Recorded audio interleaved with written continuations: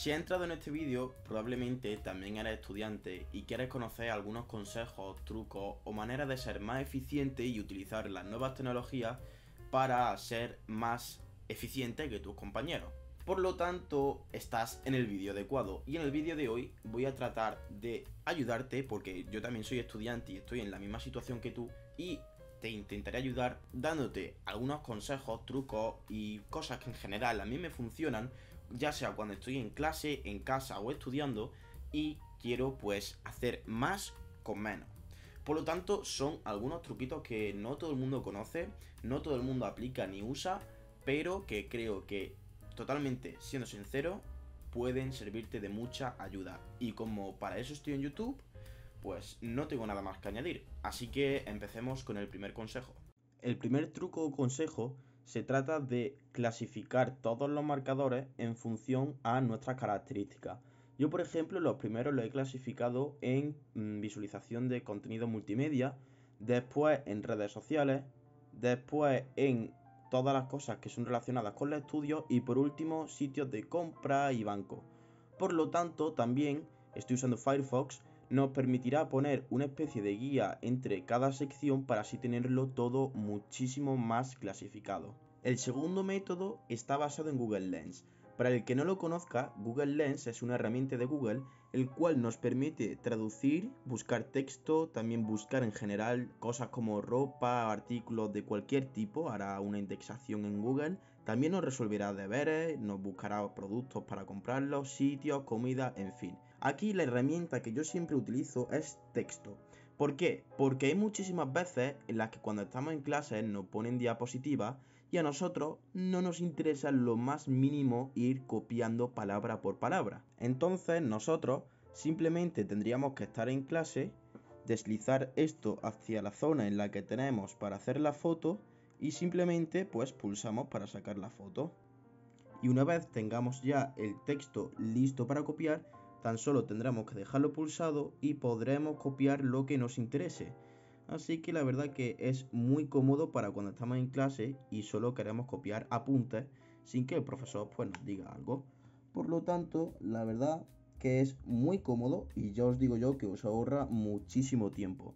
Tan solo le daríamos a donde pone copiar texto y listo. Y esto a su vez me lleva al siguiente consejo, porque directamente me puedo meter en WhatsApp y mandarme a mí mismo a mi ordenador lo que acabamos de copiar.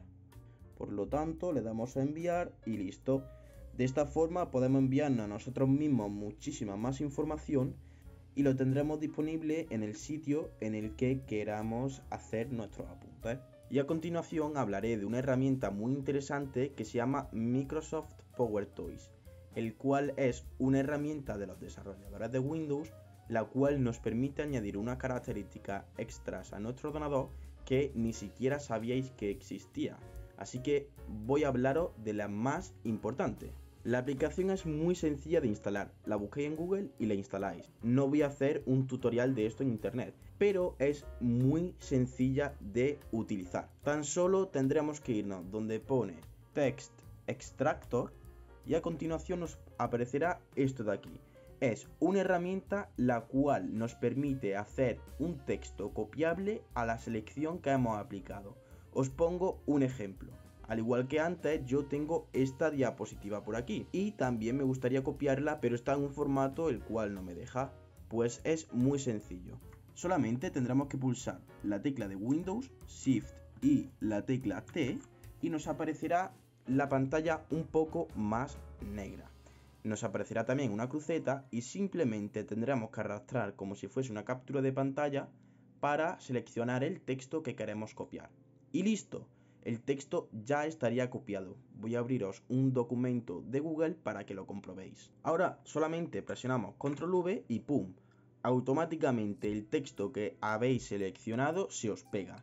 Esto es muy útil para aquellas páginas web en las cuales no os dejan pegar cualquier tipo de información por ejemplo, todo este texto de aquí, el cual a mí me interesaría tener copiado para pegar en mi apunte, tan solo tendré que seleccionarlo y tendré que deseleccionarlo para que se me copien los valores.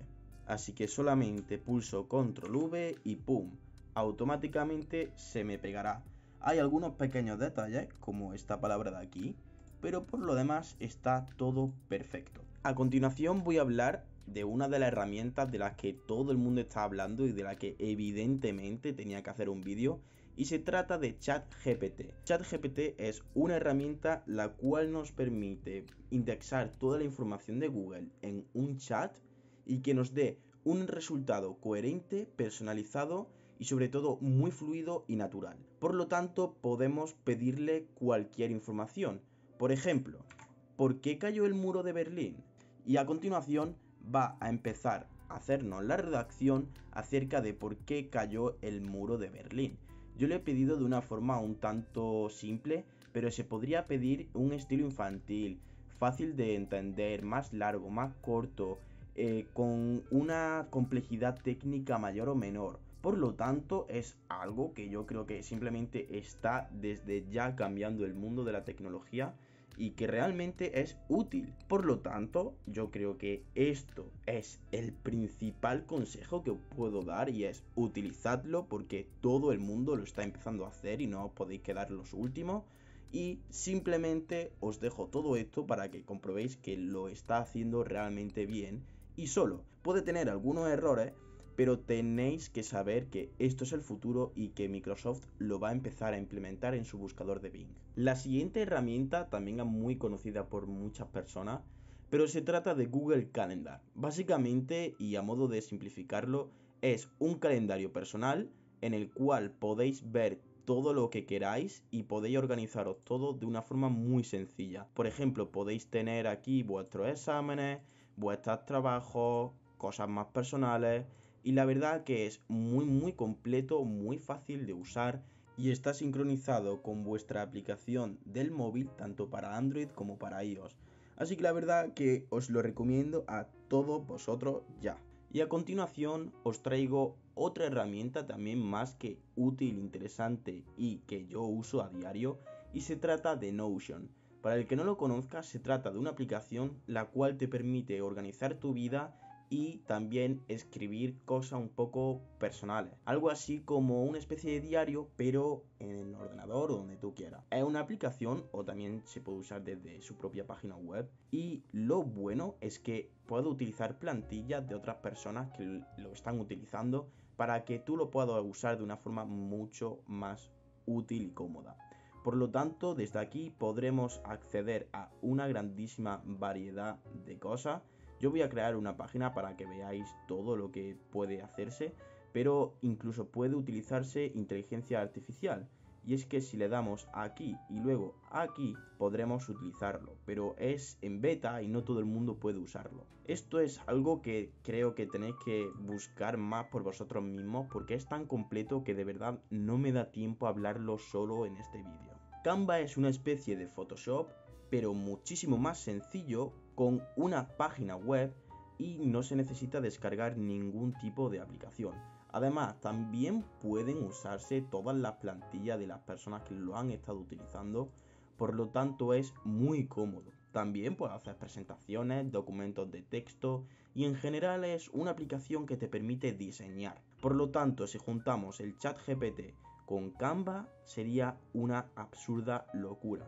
Como podéis ver, todas estas son otras plantillas que han utilizado otras personas y que nos permiten utilizarlas. Hay algunas de pago, pero siempre pueden clasificarse para que nos aparezcan solo las gratuitas. Muy probablemente te estás preguntando que por qué me estoy hablando al teléfono. Y es que el siguiente consejo se trata de hablar delante de ti o de una cámara a la hora de hacer una presentación. Recomiendo que se haga una cámara porque de esta forma más adelante podremos ver qué tal lo hemos hecho y también saber nuestros errores. Entonces, si lo grabamos, podemos volver atrás en el tiempo y decir, vale, en este momento podría haber hecho esto para que fuera mejor la presentación. Por lo tanto, no se trata tanto de una aplicación o de una web o lo que sea, sino simplemente el utilizar el móvil para mejorar nuestras presentaciones. No sé si os pasa lo que a mí, pero hay muchísimas veces en las que a mí me da pereza tener que escribir. Por lo tanto, hay una herramienta muy útil en Windows que de hecho ya habéis visto un spoiler antes, la cual te permite dictar sin la necesidad de tener que estar escribiendo. Por lo tanto, el truco consiste en pulsar la tecla de logotipos de Windows y la tecla H y esto activará aquí una pequeña ventana la cual comenzará a escribir todo lo que estamos hablando.